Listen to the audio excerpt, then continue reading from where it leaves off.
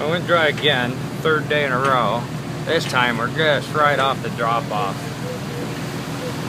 You can see these, right here's this bar. And just that close, you can see where all the other boats are.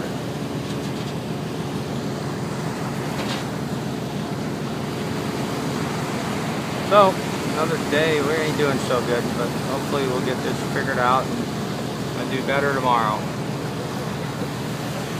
I guess you can kind of see right here. There's the bar. Uh, we're so close. We're 30 feet away. Anyway, we'll have a nice dinner again.